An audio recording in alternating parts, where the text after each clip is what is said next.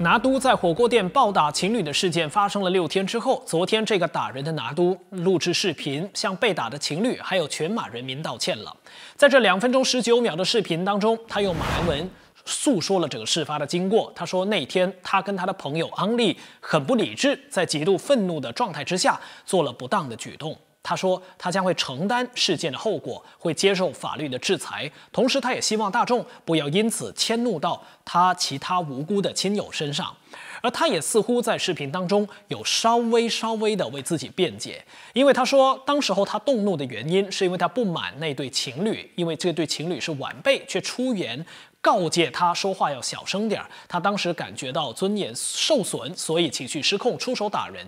我们且不谈这种情况下发飙是否情有可原，不过很多人都在讨论那一句话，就是不满晚辈告诫，动手动手打人。这样的说辞能够接受吗？身为晚辈，年纪比较轻，是不是就没有权利告诫长辈呢？我们两天前在评说报道当中也提到了这个课题，因为事发没多久，就有一个网民在网上为这个打人拿督护航，他就说。那个年轻人是晚辈，就不应该对长辈指指点点；对方是长辈，就年轻人应该闭嘴。还说呢，这件事件上呢，长辈教训晚辈是挺好的。那晚辈不该告诫长辈这句话值得讨论。在公共场合，如果遇到。比自己年长的人，但是明显做了一些不对或者一些妨碍公共利益的事情，身为晚辈的朋友，应不应该出言告诫长辈呢？如果您也遇到这样的事情，你会怎么做？是告诉自己就多一事不如少一事，当着没看见吗？Pada ketiga itu saya dan rakan saya berada dalam keadaan yang tidak rasional. Lalu saya sangat marah kerana merasakan maluah saya. Sebagai orang yang lebih berusia tercalar ketiga ditegur oleh pemuda tersebut. 阿旺前主席何玉玲在接受八点最热报视讯专访时表示，达人拿督公开道歉的举动虽然值得赞扬，但很遗憾的，他道歉的内容似乎显示他没有真正反省。而何玉玲认为，所谓晚辈不能告诫长辈的这种观念，是一种封建时代的观念。在父系社会里面呢，他他一他他有一个很传统的一一环。就是长辈永远大过小辈，永远大过后辈，所以呢，长辈讲话，小辈呢是不可以插嘴的。在封建社会里面，并且呢，在我们的华人社会里面，我们也比较常听到的“百善孝为先”，所以呢，长辈呢这是 number one 的。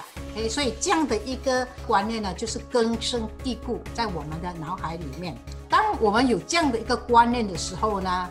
呃，自然而然的，长辈的那一辈的人就会时常用“我是长辈，我吃盐多过你吃饭”，所以呢，就会一自然而然的用这样的一个话语来教训小的。而龙雪华堂妇女组主席黄玉珠却认为，比起他年纪较长的身份，这名打人拿督或许更在意的是他拿督的勋衔，所以才会动怒打人。不是因为他是小辈，可能是因为他觉得我是。大豆啊！你竟然敢出言来劝告我，那是你对我的这个心弦呐，我的这个封号啊不尊重。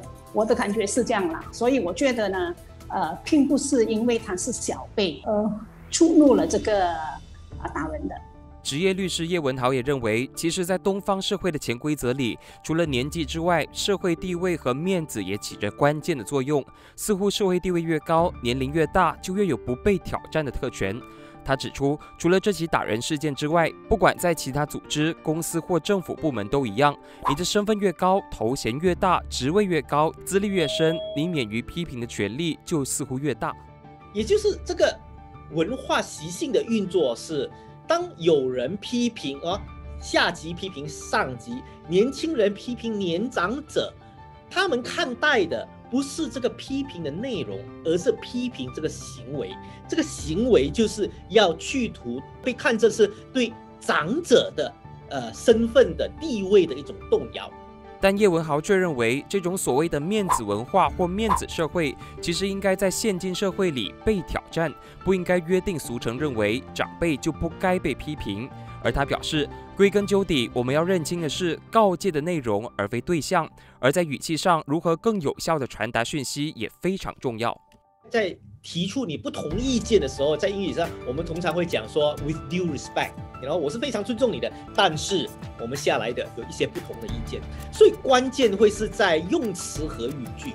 比如说，喂，你说话可以小声一点吗？以及先生，请你说话小声一点，感激不尽。那两种说法会比较容易传达到你要他小声的那个讯息呢？说到最后呢，还是一个文明的表达方式呢，是能够更有效的去传达到你要传达的那个讯息的。